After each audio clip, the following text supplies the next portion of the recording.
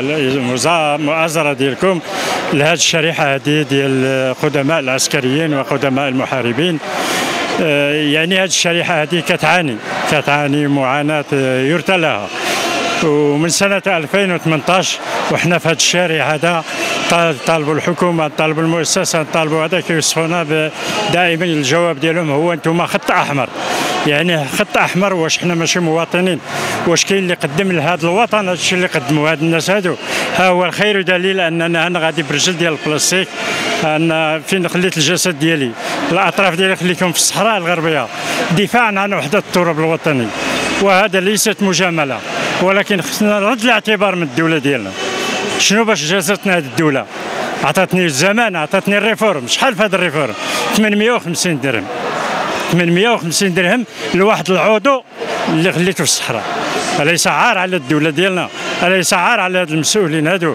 أليس عار على الأرامل اللي كيمشيو يتسولوا أمام المساجد؟ والإخوان ديالهم في الأمس القريب أنهم تدفنوا في الصحراء في, في, في, في المقابر الجماعية. ومنهم الإخوان اللي هما بحالي اللي كيتمشوا على رجل وحده. الأعضاء ديالهم خلاوها في الصحراء. ولكن شنو هو رد الاعتبار من الدولة ديالنا؟ لا شيء. لا شيء. يعني متقاعد منسي بصيغه نهائيه والحكومة تقول لنا أنتم خط أحمر. واش حنا ما عليناش الغلاء؟ واش حنا الزيادة ديال الأسعار عفونا منها؟ يعني حتى حنا خصنا باش نقاوموا باش نمشيو للسبيطارات فين هما السبيطارات السبيطار كنمشيو ليه كيعطيك الرونديفو ديال 8 شهور.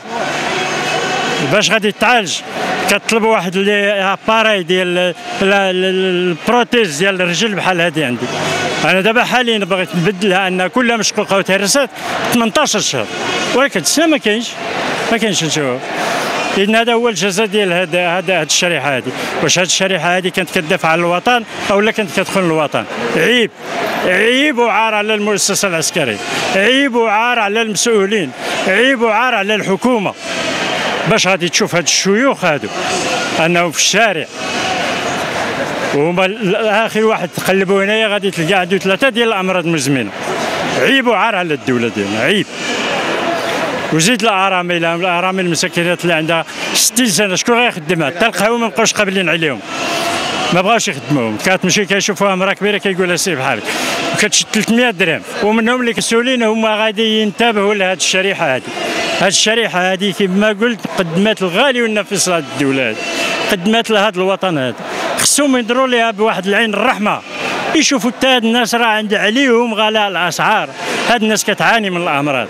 هاد الناس كتعاني من المعاش الهزيل واش المعاش اللي ما كيتجاوزش 1500 درهم 1400 درهم. وزيد الديجي اللي ما كيشدوش حتى zéro درهم. وضرب 20 سنة ديال ديال الحرب في الصحراء. وكنطالبوا هاد المسؤولين هادو يشوفوا بعين الرحمة وكنطالبوا سيدنا الله ينصرو جلالة الملك اللي هو قائد على ورئيس اركان الحرب العامة. القوى المسلحة الملكية ينظر لهذه الشريحة هذه اللي قدمت ما لم يقدمه أحد في هذا الوطن هذا وهذا أقوله.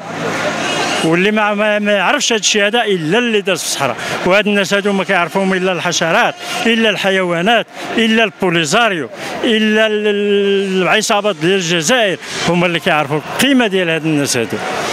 كيفاش تصدوا ليه حياك الله خويا وشعارنا الخالد دائما الله الوطن الملك أمقران حسن محارب قديم. اليوم جينا هنايا قدام قبة البرلمان. من أجل مؤازرة الإخوان ديالنا الذين والأخوات الذين حجوا من كل مكان من أجل المطالبة بحقوقهم وإيصال صوتهم إلى المؤسسات المعنية آه، نظرا للمعاناة التي نعاني منها في هذه الظروف خاصة مؤخرا لما تمت الزيادة في كل المواد الغذائية فأصبح المحارب القديم والأرملة ويعني آه، يعيشون آه، واحد المعيشة يرثى لها. ولذلك حنايا اليوم نتواجد هنا من أجل إيصال صوتنا ومناشدة المسؤولين اللي هما هنا في هذه القبة البرلمان باش أنهم يشوفوا على هذه الشريحة هذه اللي كتعاني معاناة لأننا كنلقاو آه، المتقاعد يتقاضى معاش هزيل لا يتجاوز في أحسن الظروف 1500 و2000 درهم خاصة الناس اللي خرجوا آه، يعني في التسعينات وبدايه الألفية. فيعني كل اللي خرج قبل 2010 فهو يعاني.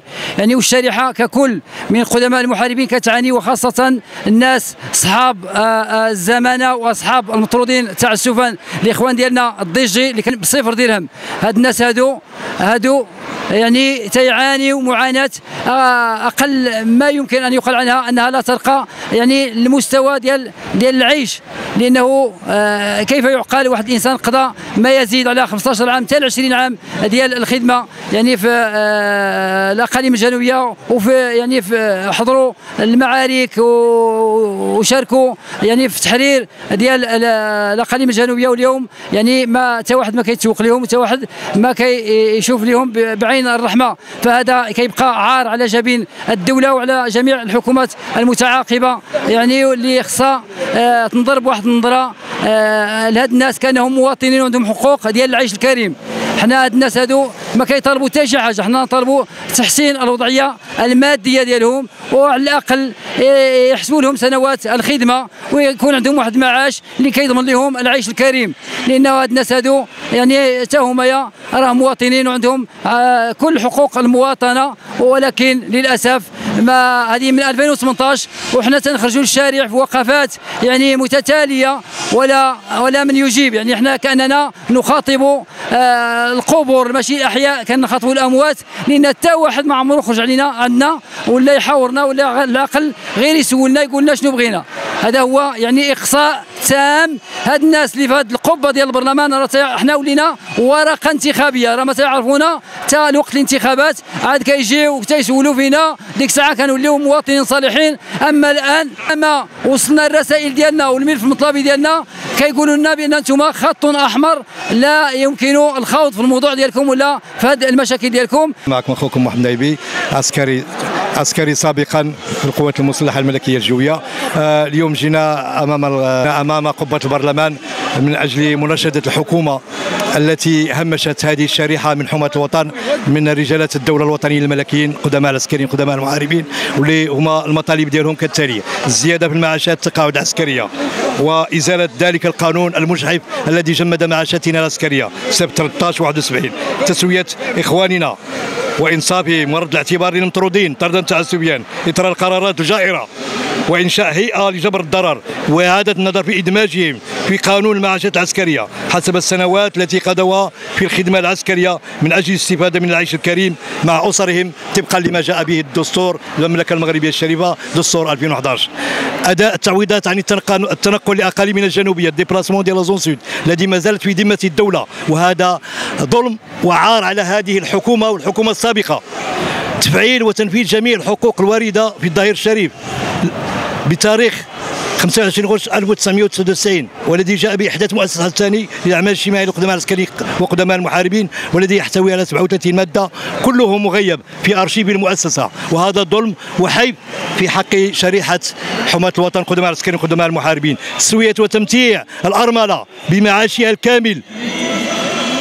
لزوجها المتوفي لكي تستفيد من العيش الكريم المخول لها من طرف الدستور المملكة المغربية الشريفة. توفير السكن اللائق لجميع قدماء العسكريين قدماء العسكريين وقدماء المحاربين وارامل وذوو الحقوق ولا سيما قاطني دور الصفيح العسكري والمخزني وإيجاد حلول مناسبة لهم وتطبيق القرار الملكي بتفويت الدور تابع ل تابع لوكالة التجهيز العسكري باثمنه تفضيليه الزيادة والرفع من نسبة المعاشات الزمانة ال réforme documentaire والتعويض عن المرض خلال أداء المهام العسكرية واستفاده جميع مطلوب الحرب دون احتساب النسبة المئوية محددة ب 60% مراجعة.